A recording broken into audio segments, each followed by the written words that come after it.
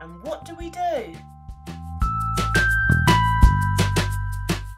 We do workshops for kiddies.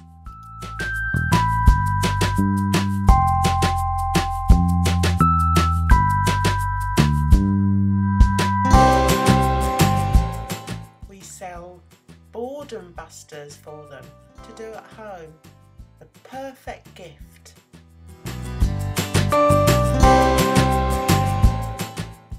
And workshops for adults.